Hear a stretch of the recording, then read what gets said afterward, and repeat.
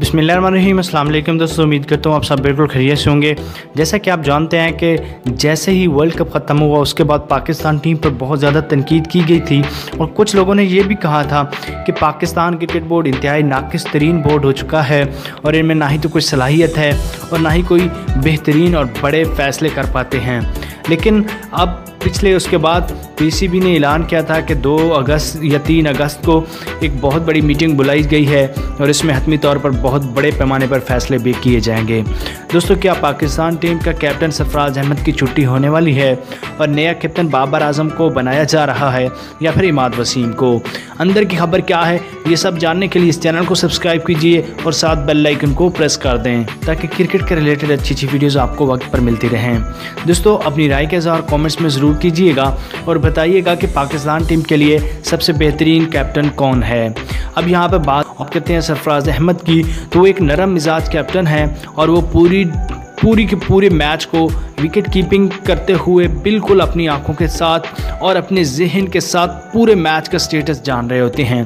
اور اگر یہ کہا جائے تو وکٹ کیپر ہی ایک ایسا میچ میں بندہ ہوتا ہے جس کی سب سے زیادہ میچ پہ نظر ہوتی ہے۔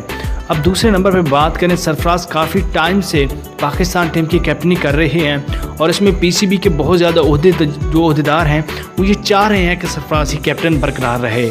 لیکن اب یہ دیکھنا ہوگا کہ وہیں پر کچھ ایسے بھی ممبر ہیں جو چاہ رہے ہیں کہ اب پاکستان ٹیم میں بڑے پیمانے پر اکھاڑ بچاڑ ہو اور جو بڑے بڑے بڑے پلیئر ہیں اور جو جو اور جو ایسے پلیئر ہیں جو صرف نام کی وجہ سے قومی ٹیم میں کھیل رہے ہیں، ان کو سائیڈ لائن پر رکھ کر نئے ینگسٹر کو ٹیلنٹ نیا ٹیلنٹ سامنے لانا چاہیے۔